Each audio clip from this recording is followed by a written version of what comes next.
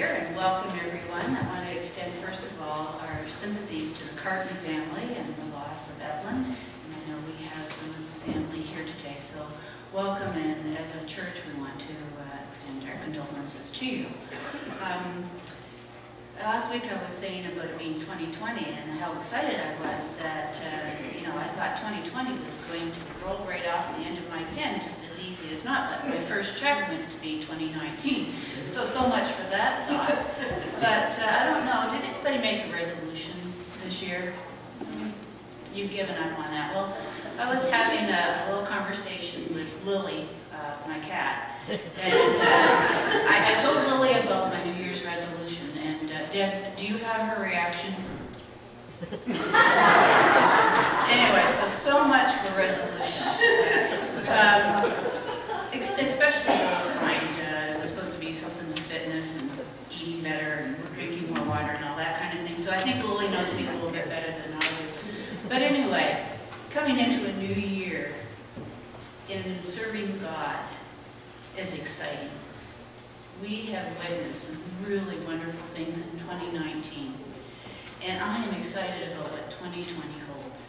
And so if we as a church and as individuals can resolve to serve our Lord and Savior, Jesus Christ, with whatever it takes, I think he would be pleased. And this morning, the worship team has chosen one of my favorite new courses. I don't know if it's new or not, but it's new kind of to me. And it comes from the book of Isaiah, chapter 40. And the subtitle over the top of my text says, The Lord has no equal. Who else has held the oceans in his hand? Who has measured off the heavens with his fingers? Who else knows the weight of the earth or has weighed the mountains and hills on a scale? Who is able to abide the Spirit of the Lord? None of us. But the Lord is waiting to advise us, and I'm excited about the new year. Let's bow in prayer. Heavenly Father, it is so good to be in your house and to be with your people. And Father, we just pray that your Spirit, that you've called us here today, that your Spirit would speak deeply into our hearts and draw us closer to you. And Father, may the worship that we offer to you today be pleasing to you. In Jesus' name, amen. And as you stand, would you stand and welcome each one into the house of the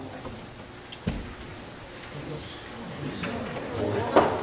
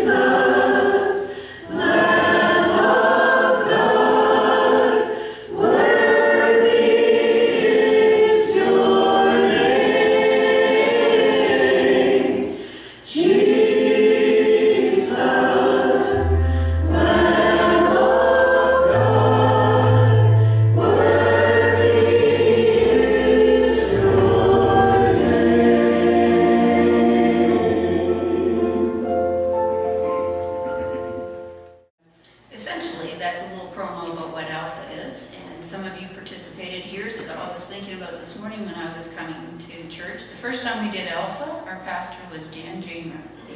And we did it several times after that. And it is designed um, to be an outreach program. Uh, All you have to do is press the beginning.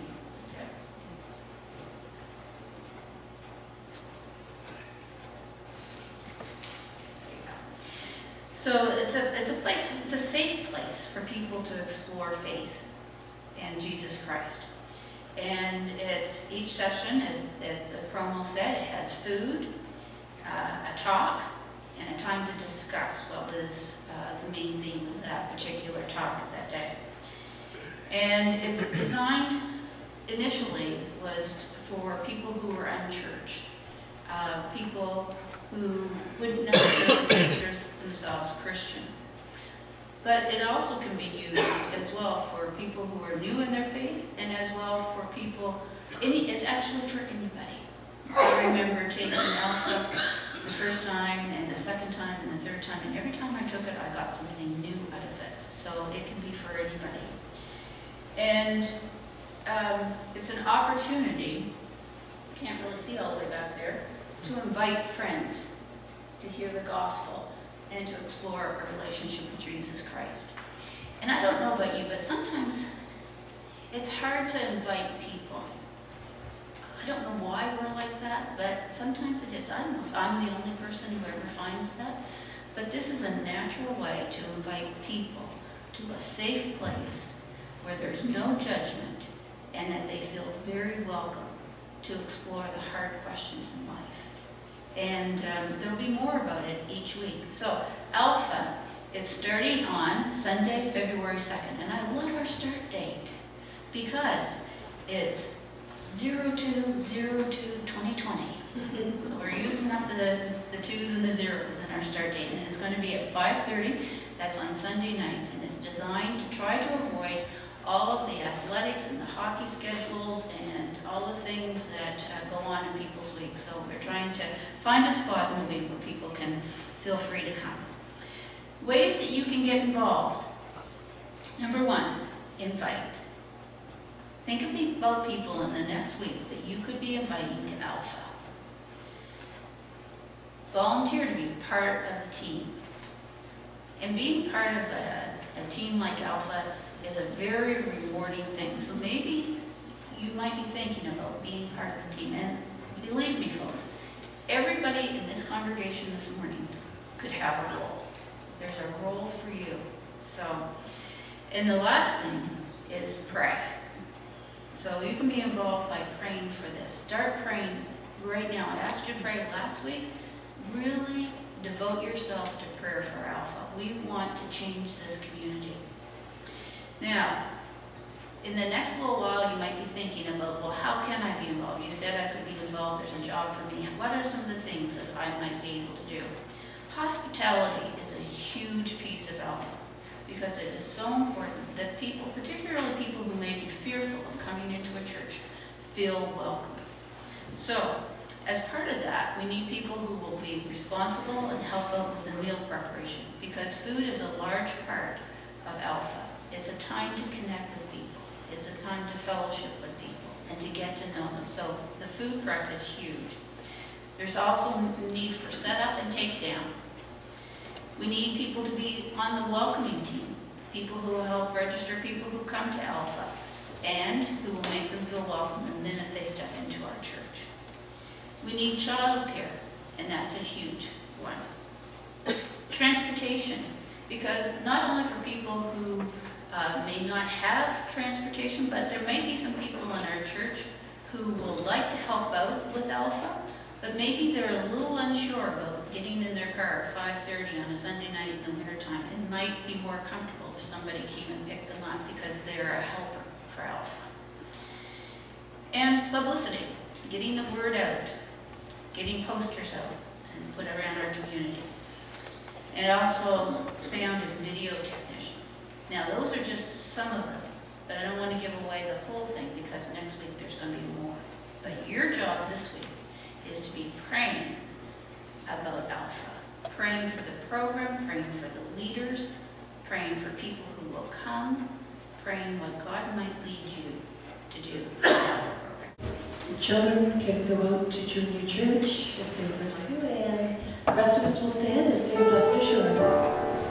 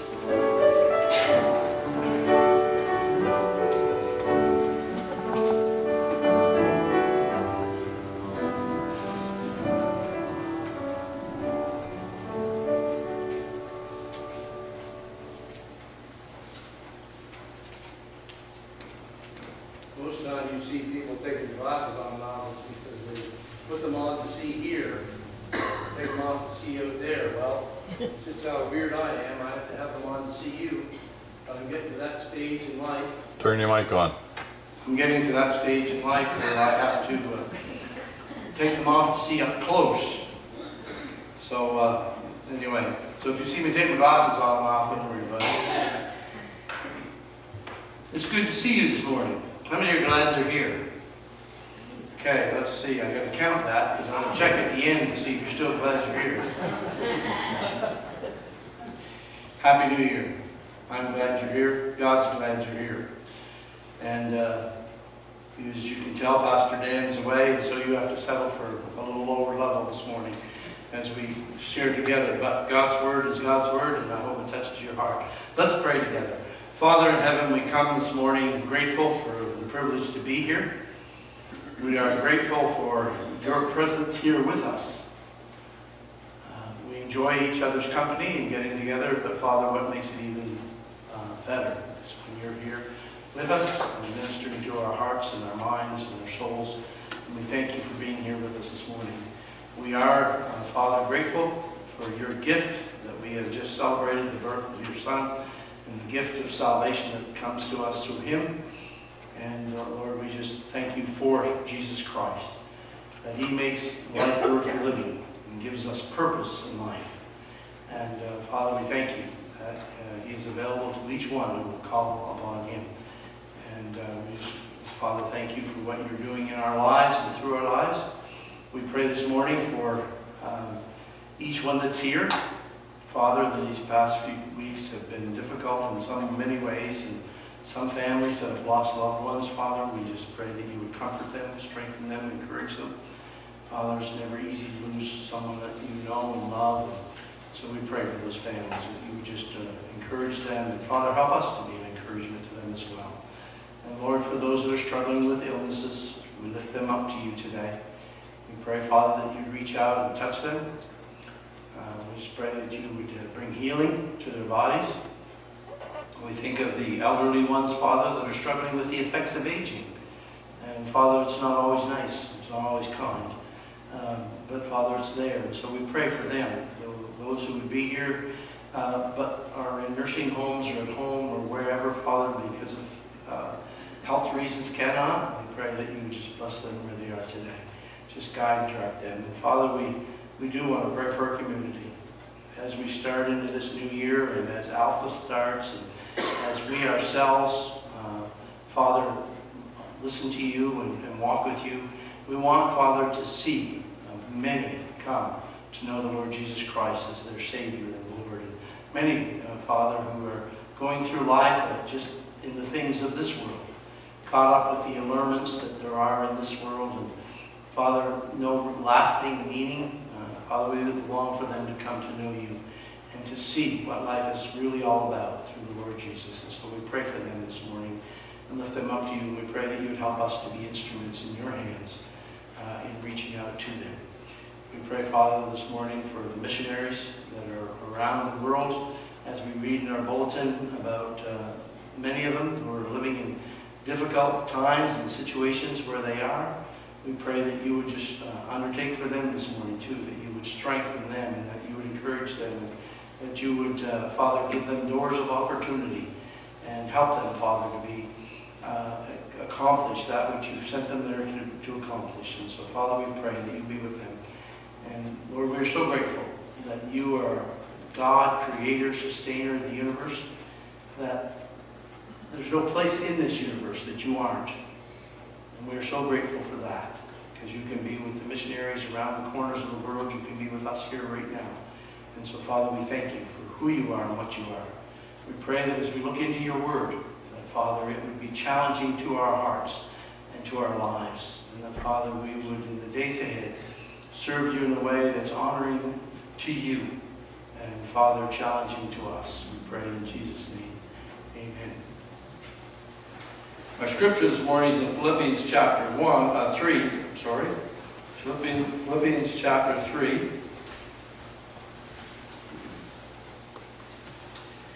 We're going to read the, the chapter.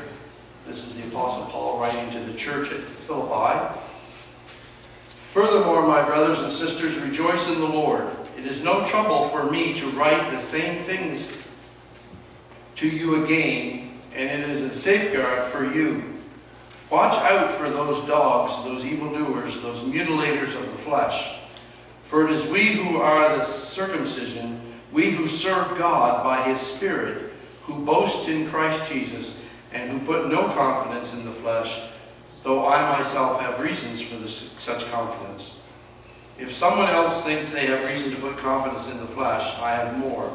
Circumcised on the eighth day of the people of Israel of the tribe of Benjamin, a Hebrew of Hebrews, in regard to the law, a Pharisee, as for zeal persecuting the church, as for righteousness based on the law, faultless.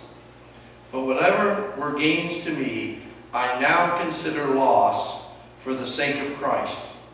What is more, I consider everything a loss because of the surpassing worth of knowing Christ Jesus my Lord, for whose sake I have lost all things. I consider them garbage, that I may gain Christ and be found in him. Not having a righteousness of my own that comes from the law, but that which is through faith in Christ. The righteousness that comes from God on the basis of faith, I want to know Christ, yes, to know the power of his resurrection and participation in his sufferings, becoming like him in his death, and so somehow attaining to the resurrection from the dead. Not that I have already obtained all this, or have already arrived at my goal, but I press on to take hold of that for which Christ took hold of me. Brothers and sisters, I do not consider myself yet to have taken hold of it, but one thing I do, forgetting what is behind and straining toward what is ahead, I press on toward the goal to win the prize for which God has called me heavenward in Christ Jesus. All of us then, who are mature, should take such a view of things, and if on some point you think differently, that too God will make clear to you. Only let us live up to what we have already attained. Join together in following my example, brothers and sisters, just as you have us as a model, keep your eyes on those who live as we do. For as I have often told you before and tell you again, even with tears, many live as enemies of the cross of Christ. Their destiny is destruction, their God is their stomach, and their glory is their shame. Their mind is set on earthly things, but our citizenship is in heaven, and we eagerly await a Savior from there, the Lord Jesus Christ, who by the power that enables him to bring everything under his control will transform our lowly bodies so that they will be like his glorious body. Let me ask you a question as we start this morning. Have you ever tried to look at your life the way God sees your life? Have you ever asked yourself, as God looks at me, what does he see in my life?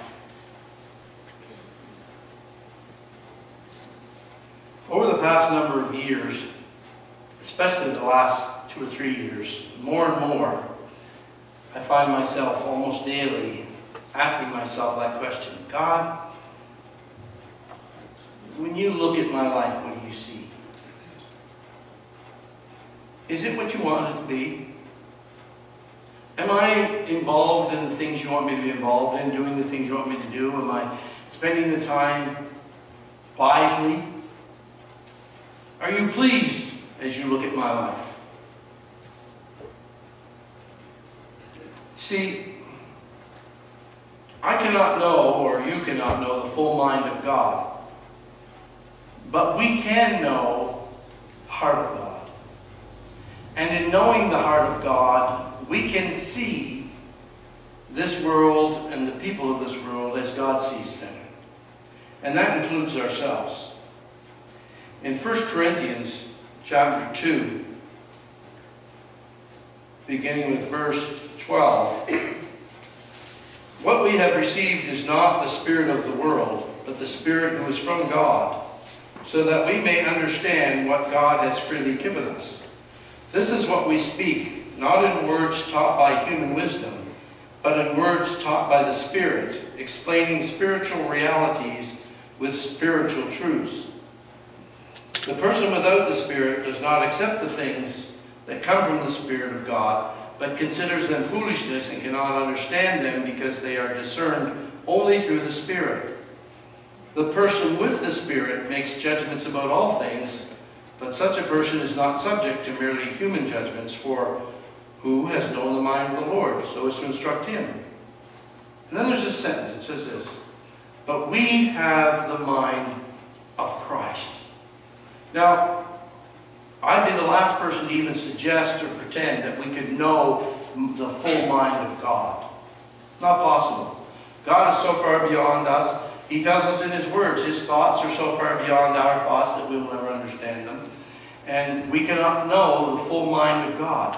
But we can know the mind of God for our lives.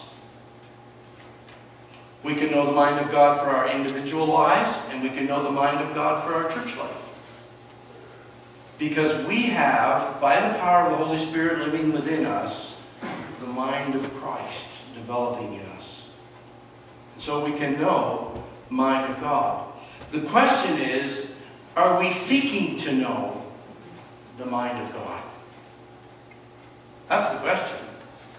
Not whether I, God will reveal himself or, or not reveal himself to us. He says in Jeremiah 29, verse 13, You will seek me and find me when you search for me with all of your heart.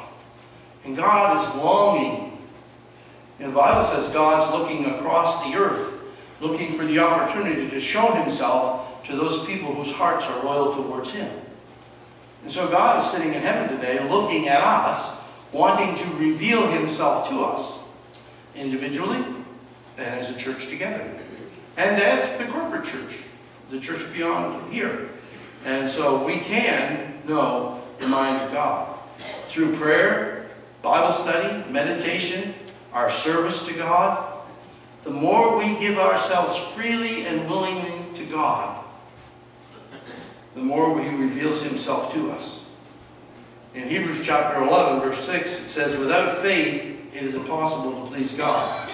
Because everyone who comes to him must believe that he exists and that he is a rewarder of those who earnestly seek him.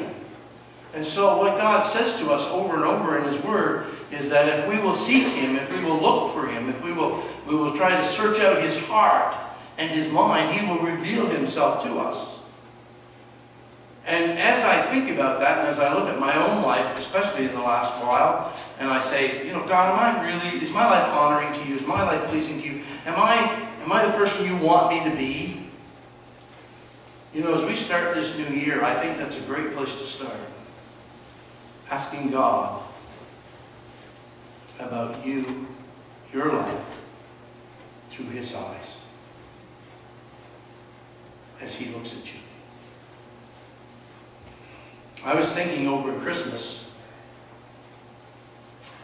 and it was a difficult Christmas, but we got through by the grace of God. I was thinking over Christmas, you know, we all admit that most of our world doesn't get Christmas, right? Don't you agree? That most of our world doesn't get Christmas. It's a holiday, it's Santa Claus, it's family time, it's vacation time, it's whatever. But most of our world doesn't get the birth of Jesus Christ and why Jesus Christ came to earth. And God puts us as Christians here to help them come to know why Jesus Christ came. That's our job. That's our place. When we sincerely seek God, He will reveal Himself through the Holy Spirit. What purpose do we have for seeking God? Why should we seek God? Some people, and I heard a preacher say this just recently, and I was just about ready to stand up, but I, I didn't. It was in the service. I heard a preacher say recently, Harry, sit down because you're not going to like this either. He said, I just want to get in the door. I just want to get in the door. Wow, that's sad. How many of you as students did really well in school? Come on now, there'd be one or two of you. How many of you worked your very hardest and did everything you could to do the best you could do in school? How many of you, your parents or your teacher ever looked at you and said, you could do better, you're capable of doing a lot better than you're doing? And you oh, oh, that number, that number jumped. That number jumped. You know something? I believe God's looking at us today and saying, "You're capable of doing more, capable of doing better, capable of being a better Christian, capable of being a better son or daughter of mine.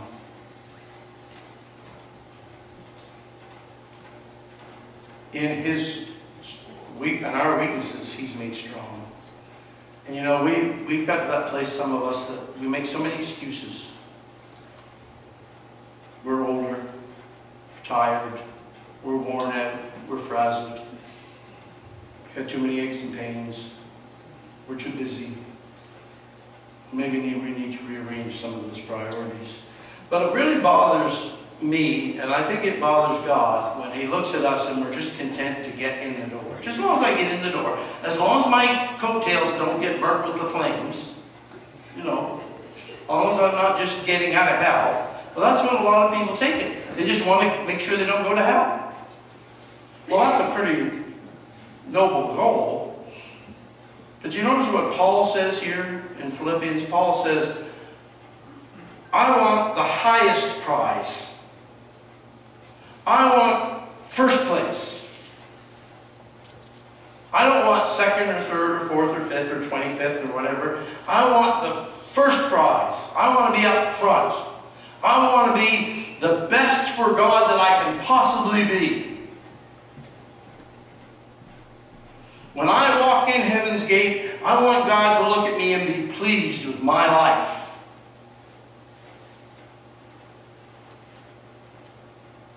Not just squeak in the door and step off to the side, just get in. But actually God say to me, well done. There is no prize in life or eternity greater than those who will hear God say to them, well done. And Paul presses for that. He presses for the highest prize, the highest calling in Christ Jesus, because that's what Jesus has called him for. He's not satisfied with just getting in. He wanted all there was to be his best. Ask yourself, do I want to just get in or do I want the top prize? Am I satisfied with just passing? Or do I want to be the very best I can possibly be? In verse 7 through 8, in Philippians 3, Paul uses a word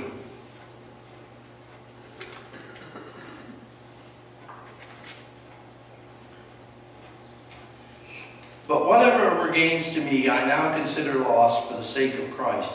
What is more, I consider, consider everything a loss because of the surpassing worth of knowing Christ Jesus my Lord. What's God worth to you? What's Jesus worth to you? Jesus dying on the cross, coming on Christmas as we celebrated, dying on the cross and raising from the dead. What's that worth to you?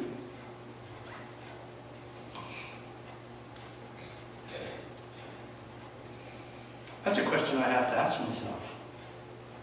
What is it worth to me?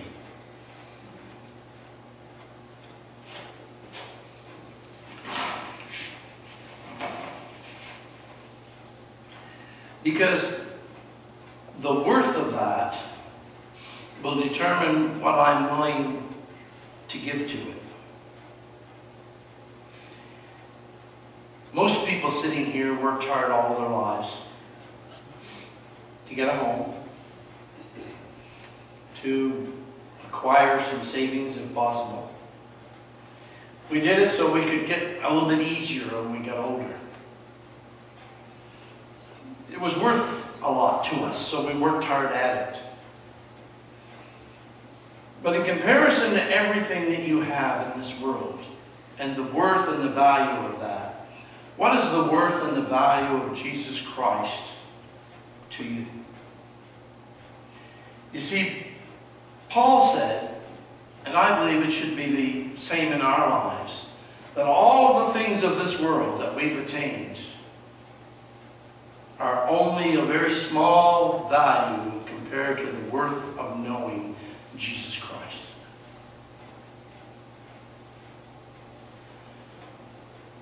You just ask some of the older people how fast life passes. It goes by pretty quick.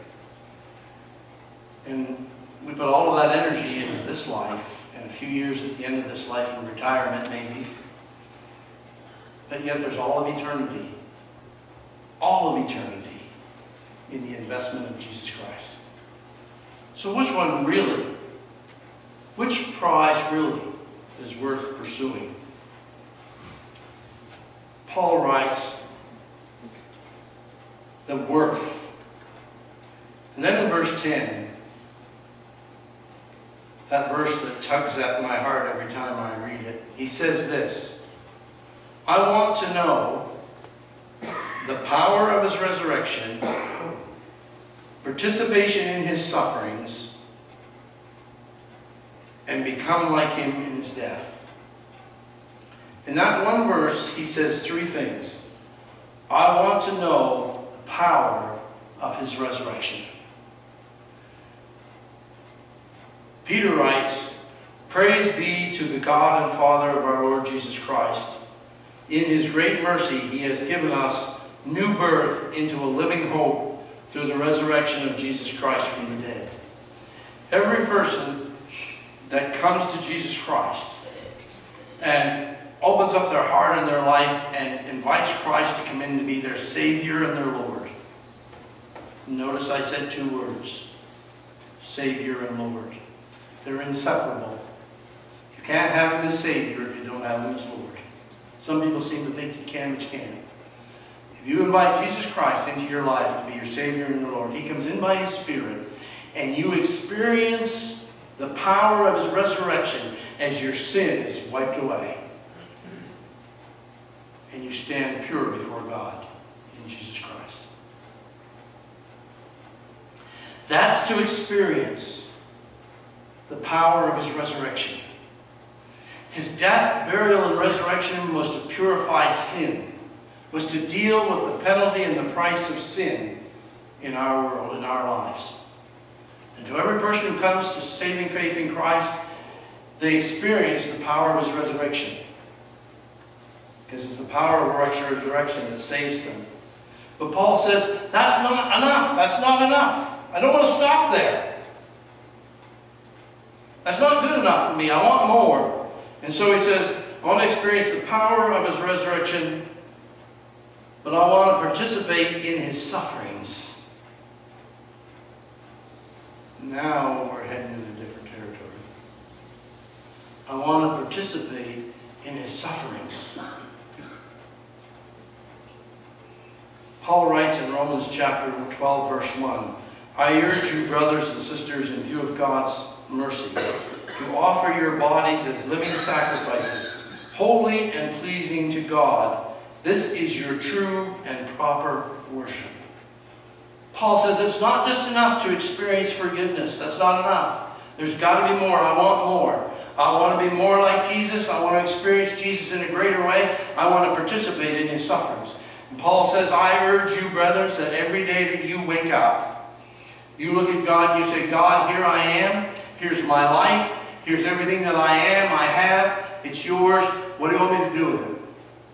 Put it on the altar of sacrifice. Paul could have coasted through life. He'd reached a position with the Pharisees that he had it pretty easy. He could have coasted through life. He could have coasted through life as a Christian. But he wasn't happy coasting through life. He wanted it all. When he realized what Jesus Christ had done for him, he couldn't settle for less. He had to have it all. And he would wake up in the morning and he would look at God and he'd say, Here I am. What do you want me? How can I serve you? How can I give my life for you? And he did that because of his love for Jesus Christ. But you know something else? He did it because he loved his neighbors. And he loved the Israelites and the Jews and the people around him.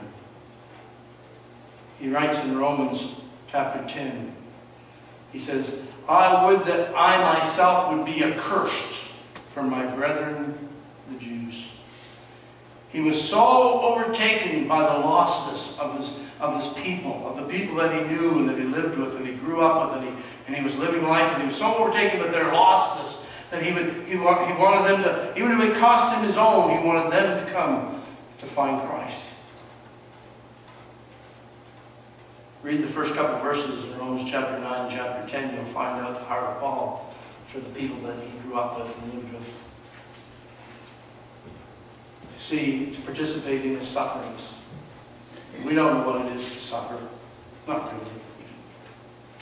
If you're very truthful, most of us don't know what it is to sacrifice. To give it all. How of us really, truly can relate to the lady who put the last penny in? Really, seriously. Not too many of us. How many of us really can relate to the disciples, the early disciples, who left their homes, their families, and everything to go?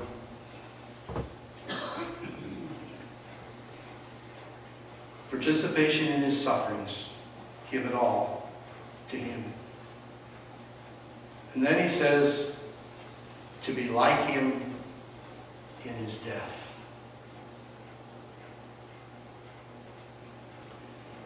In Matthew chapter 10, verse 38, whatever, whoever does not take up his cross and follow me is not worthy of me.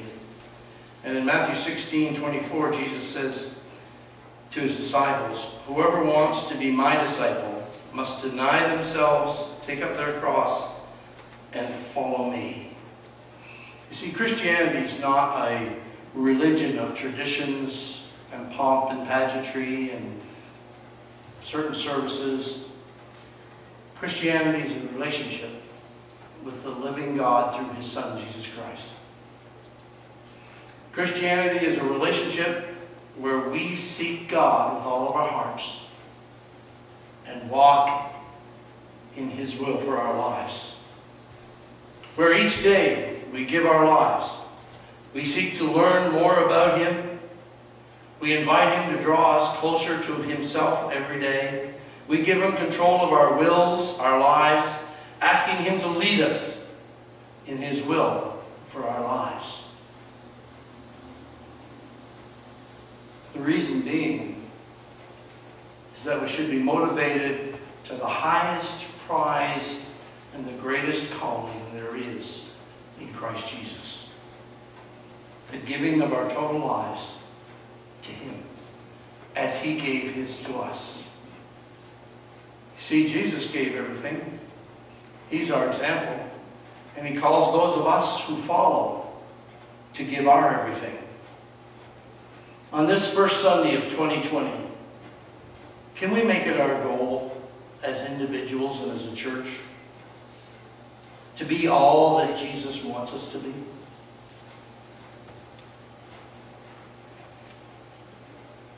To live for the prize of the highest calling in Christ Jesus?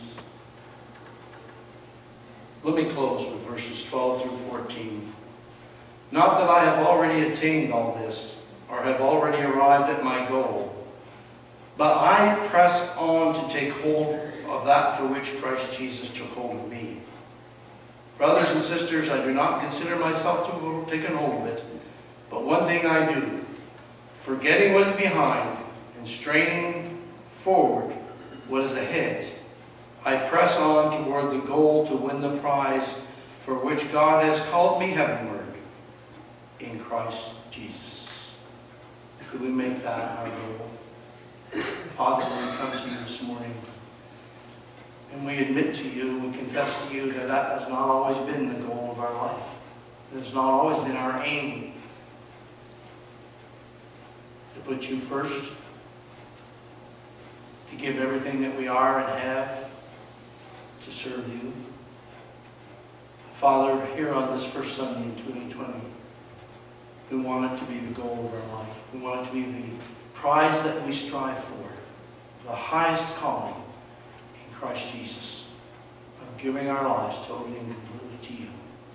Granted, Father, by the power of your Spirit and your strength, that you would enable us to do that through the days of this year. We pray in Jesus' name.